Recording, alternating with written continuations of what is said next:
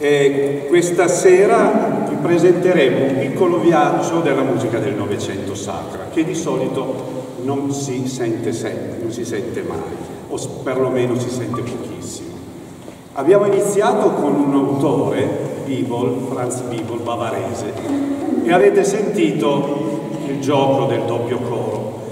Vedremo proprio in questa serata quanto la musica del Novecento, e arriveremo anche ai giorni nostri, comunque viene influenzata, come deve essere, dalla musica antica. In questo caso, ovviamente, il doppio coro non è nient'altro che i cori battenti che si usavano nel Cinquecento con Gabrieli, Venezia, costruite le chiese apposta per poter fare i cori battenti. E qui abbiamo sentito un esempio, ovviamente con armonie magari più moderne, qui non è esageratamente moderne.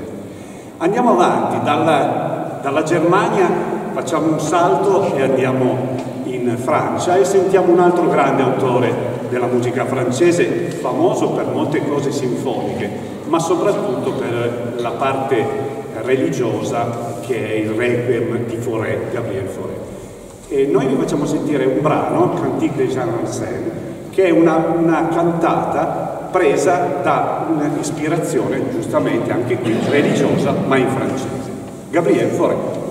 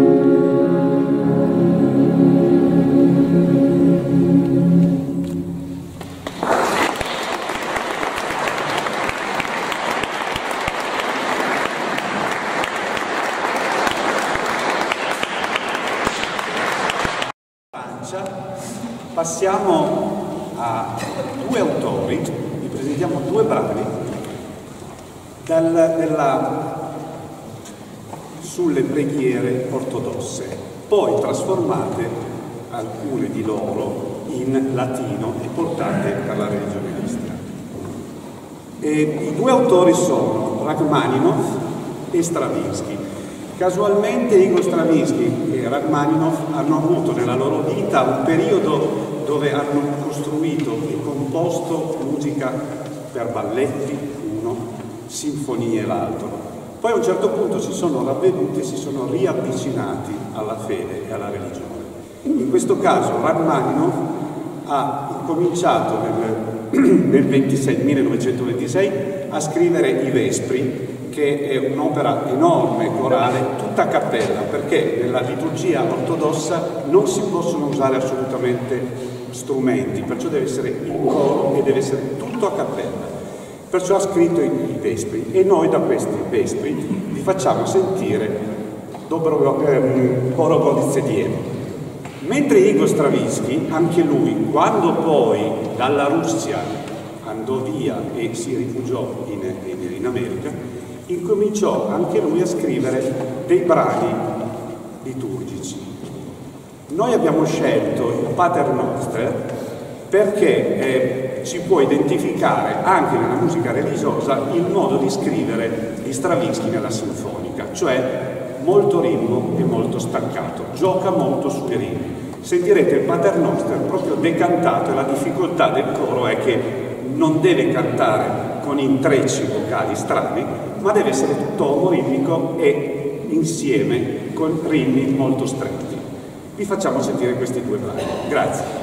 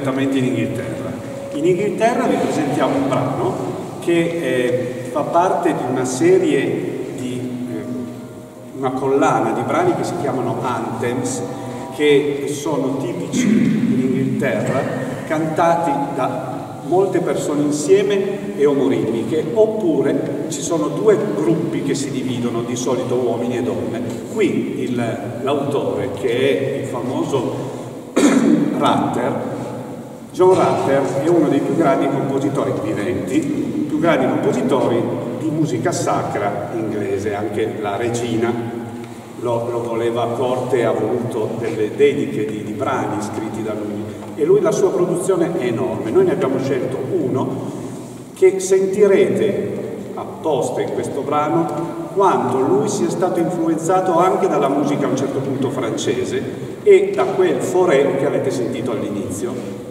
Si respira quell'aria in questo brano. John Love.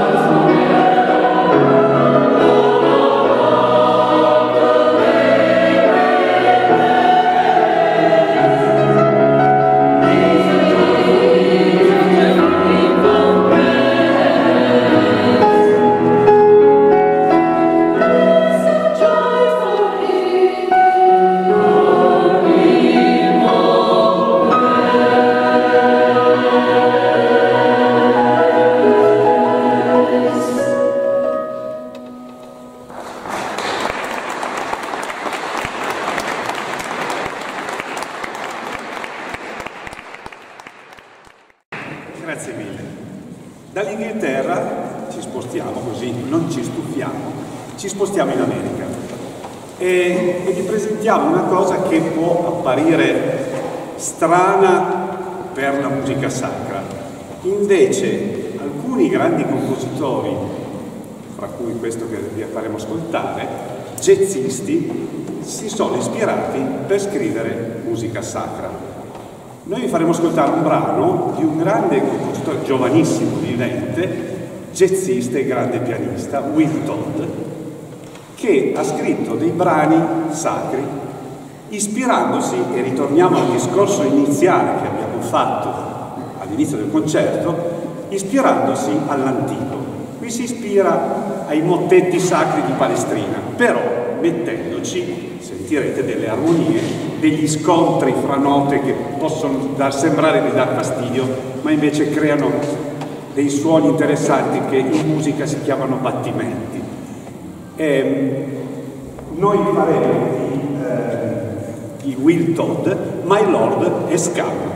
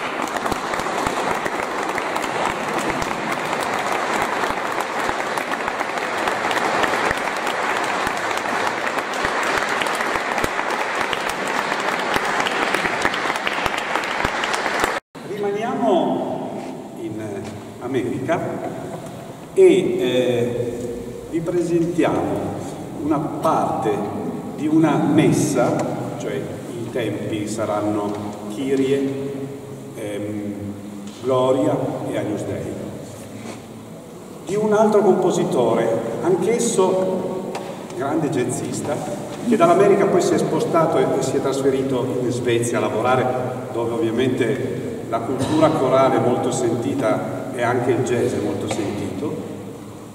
E anche qui sentirete invece totalmente un ambiente diverso da quello che avete sentito qua, con questi scontri, queste, questi colori. Sentirete un pochettino più di jazz, ma udibilissimo, con delle armonie e dei ritmi anche particolari. Di Steve Dobrogos, una parte della sua messa.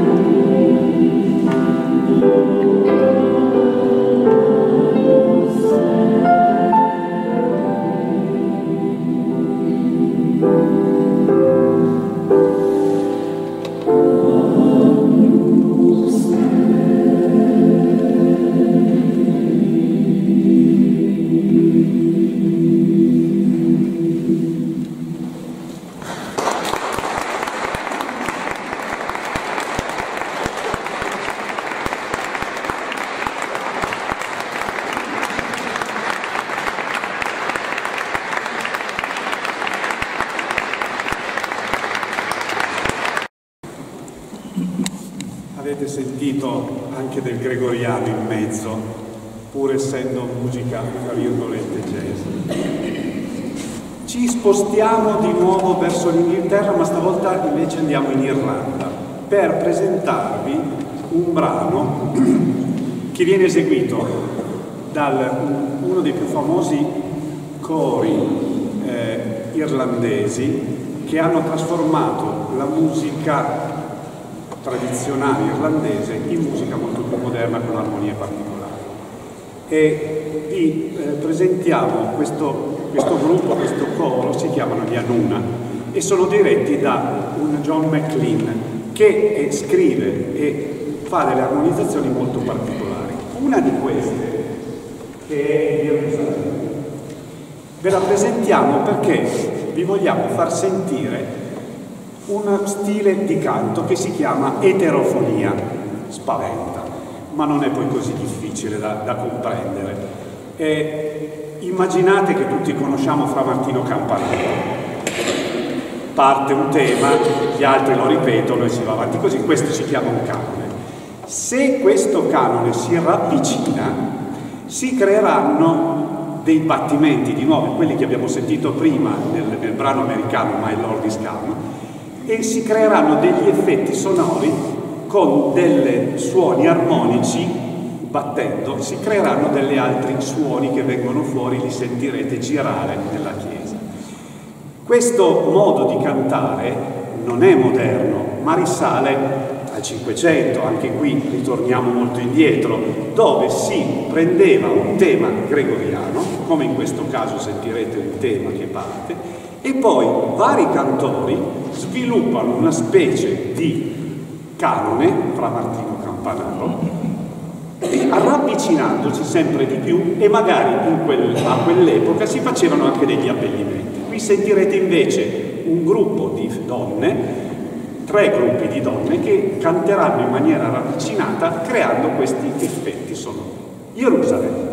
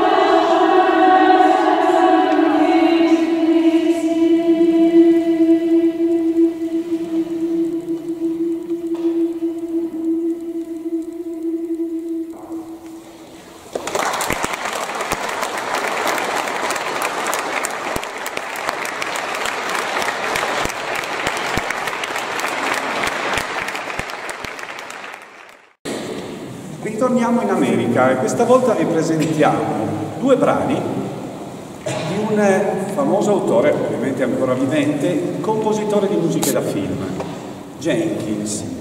Ha scritto molte colonne sonore di film e ha scritto anche un importantissimo e stupendo requiem per voce femminile, voce di bimbo e coro e orchestra sinfonica enorme. E noi vi presenteremo estratto di questo Requiem, il Pie Jesu, essendo oltretutto un quaresima mi pare molto indicato, e dello stesso autore invece vi presenteremo un altro brano che purtroppo è stato rovinato da certe tv private, il cantate domino, che eh, prendendolo come eh, sigla di, di, un ingresso di, di, una cosa che non c'entrava assolutamente niente con, con, con, la, con le cose sacre, eh, purtroppo, ma eh, è diventato famoso per questo, perché quando sentirete le prime note ricorderete che cos'era, chi era la, personaggio che entrava e soprattutto il canale dove veniva trasmesso questo. Cantate Domino, ma prima Pie.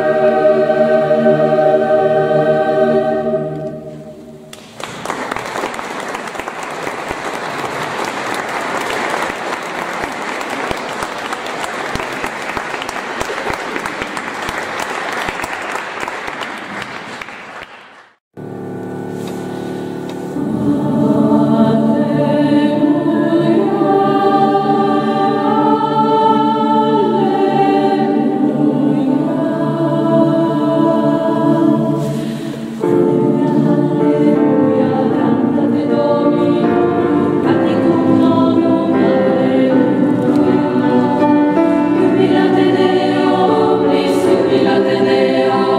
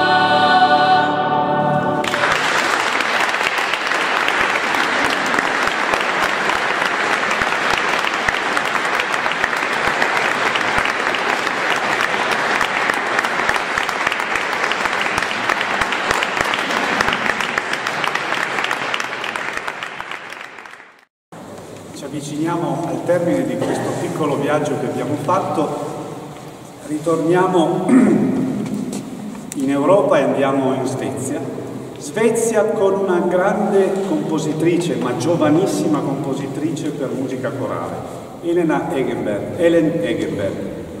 Ha vinto tutti i premi possibili e immaginabili di composizione corale per giro per il mondo. Noi vi presentiamo un brano che ci piace particolarmente e questo brano si può fare sia con pianoforte e coro che con pianoforte, violoncello e coro. Questa sera non abbiamo il violoncello, ma abbiamo un applauso a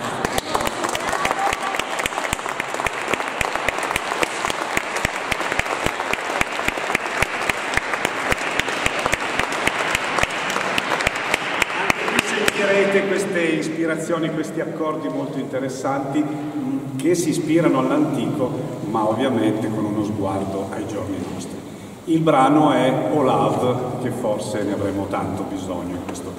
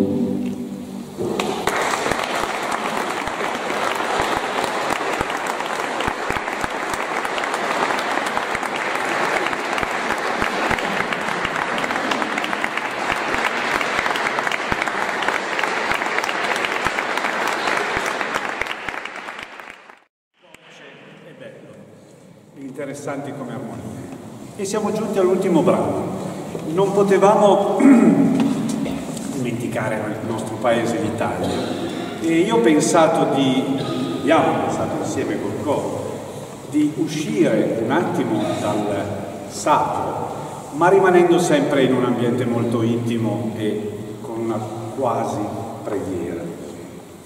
E soprattutto eh, vi vogliamo ricordare uno dei più grandi nostri compositori di colonne sonore del film, abbiamo sentito Jenkins prima, ed è Ennio Morricone.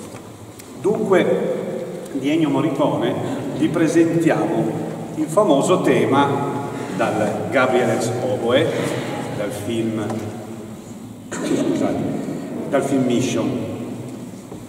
E a un certo punto della composizione e all'uscita del film, una mh, scrittrice, eh, Chiara Ferrau, ha preso questo brano e l'ha ha messo il testo, inviandolo poi al maestro Ennio Morricone, che ha accolto favorevolmente. Di solito era un tipo che non accettava molto i, i, i cambiamenti dei suoi brani, anzi bisognava essere molto fedeli.